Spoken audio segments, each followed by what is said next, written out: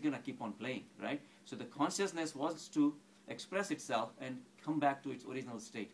That's the ultimate purpose of the consciousness. And the outer purpose is to create this world and have us experience. Us means we are also consciousness. It's just to create this, to see what it can do, you know. But consciousness needs, so that's prana and prakriti. That's our, you, uh, our scriptures have been saying. Prana is the consciousness, prakriti is all this matter. So that's the dance of Shiva, Shiva and Parvati. Parvati is the matter, and Shiva is the consciousness. Oh, so that dance keeps on going. Krishna and Radha. The, we are all Radhas, right? The, the way we think. We keep on dancing around Krishna. And ultimately we want to merge into Krishna. But at the same time, consciousness cannot do this without us. It needs us. That dance has to go on. That's the only way consciousness realizes its potential. You may have lots of potential, but if you cannot find out how to express, you may have capacity to move the mountains, but you need a mountain to move. Right. that's why the matter is so important. At the, but ultimately, it's the consciousness.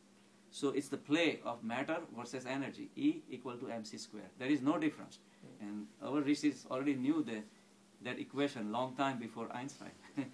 so ultimate is the our outer purpose is to enjoy this world, but the inner purpose is to facilitate that consciousness to come out.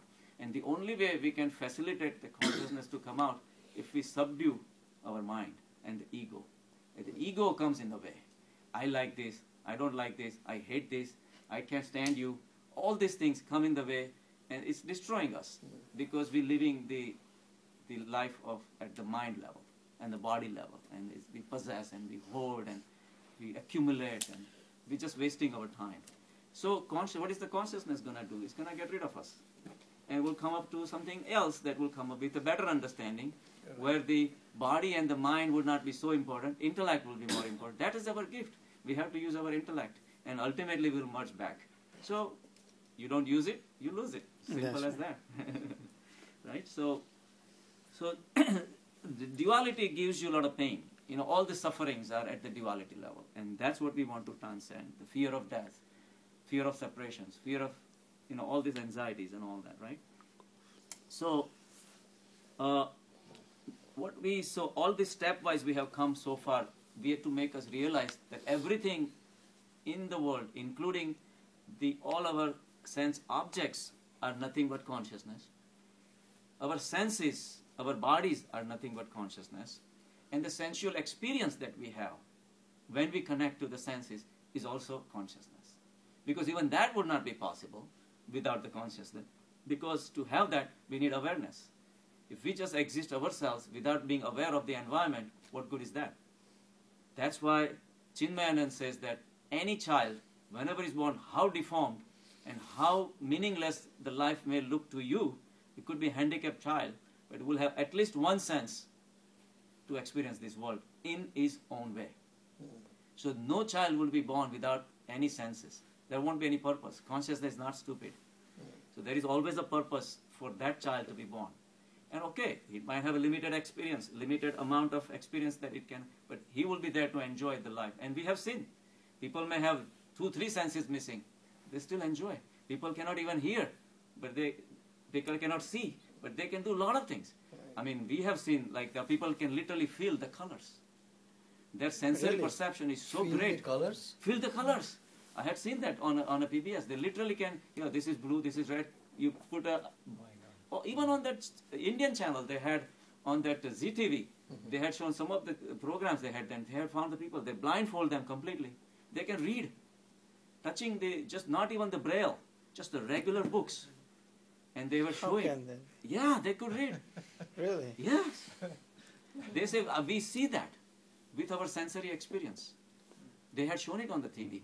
And the color perception is that they say red is hot, blue is cold, green is good. Like they can differentiate. Mm-hmm. So it's amazing. We are limited by our senses mm-hmm. because our limited thinking does not allow us to think beyond. Mm-hmm. But there is so much beyond. They had eh. found elephants mm. like miles and miles across communicating with each other at a, such a high frequency sounds that until you use those instruments, you cannot even find these sound waves are being exchanged between the elephants. And you say, well, how did this elephant know what this elephant is saying? So that communication exists. Just because we don't know doesn't mean it does not exist. Mm. There are a lot of things exist beyond our limited field, right? Before we had a color vision, doesn't mean the colors didn't exist, but they which did not have a vision to see it. And there are a lot of animals right now, they don't have a color vision, they can't see the colors. And he says, Are you stupid? You don't see the green color? No, they don't. People being born with the color blind. Mm-hmm. For they have to have a special, you know, sight because they don't they don't differentiate the red and the green at the traffic light and things like that. For them, field is totally different. so the senses are limited for some people. It could be totally extrasensorial perception, sixth sense, all this. They have those things and they do exist. May not exist for us, but This is ve- very like a known phenomenon is that those who are in the spirituality at a higher level, um, the uh, the person in in Junagadh on the mountain can communicate the person in Right. Himalayas. They can talk with each other.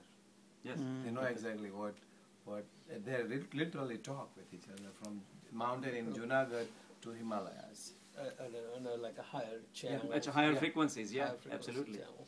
So uh, we are limited. We think that we are everything. We are the it's gods and we are the phenomenon. kings of this world and all that. Yeah. It's nothing. It's nothing like that. We are so limited. We are limited, basically. That's why I mean we are not able to accept or understand because of our limitation. I gave an example of that animal platypus, right? The platypus is is a link between mammals and reptiles. So on one hand, it suckles the babies, mm-hmm. but it lays the eggs. Oh, Now you go figure. So they they know evolutionary. It's it's exist in Australia. So they studied platypus. Now, so it, it's like a bird, but it flies underwater. It has a wings and everything. It flies underwater, right? And it catches the prey. But when it catches the prey, it closes its eyes, it closes its ears because under the water you cannot have water getting into the ears and all that. So how does it catch the the, the prey? oh, So they found out there is an electrical field that it perceives. It has the sensors in its nose to perceive the electric field. And we know electric field exists. We do the cardiograms all the time, mm. right? We see the activity of the heart.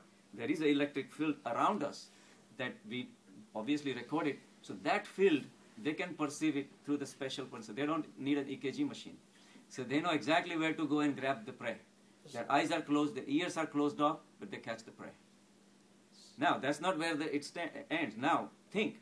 So, if it's a bird and lays the eggs, you need a different kind of hormones to create the eggs. At the same time, when the base, once the baby is born, it suckles the child, like a human being, right. like a mammal. So then you need a different set of hormones. So now we have two sets of hormones: testosterone and estrogen, right? All of us do. We both we have both the hormones. Whichever is little predominant, we, that determines our sex. So if you have a little more testosterone, we have this. And platypus has 13 sex hormones. now, talk about joy. it has, and we think it's just a little weird animal. It is a link between restor- reptiles and mammals. Nature has given 13 sex hormones. And it is so amazing what consciousness has decided to create, but it's in the hands of that consciousness. And it is amazing how the consciousness operates and gives what you need at the time when you need it. You look at the red cardinals, we see, uh, we, Yeah. we run all the time. I tell Deepak, I said, you know, which, you know, as soon as the spring comes, the male red cardinals will turn deep, bright red to attract the females. But once the spring goes into summer, then it starts fading. Right. We saw turkeys this morning, the wild turkeys. Males have a blue throat in the springtime. Right. But as soon as the spring goes, the color goes away. Gonna go. So consciousness gives you at the time, whenever it is needed, is given to you. But it's also taken away when it's not needed. And when you try to fight the flow, that's when you suffer. When the white hair starts, accept the white hair. when we start coloring it, and That's say that I forgot to color I, this. dis- and- I disagree there. I disagree. Don't fight the change. Accept it. Because that Grow is the ul- gracefully.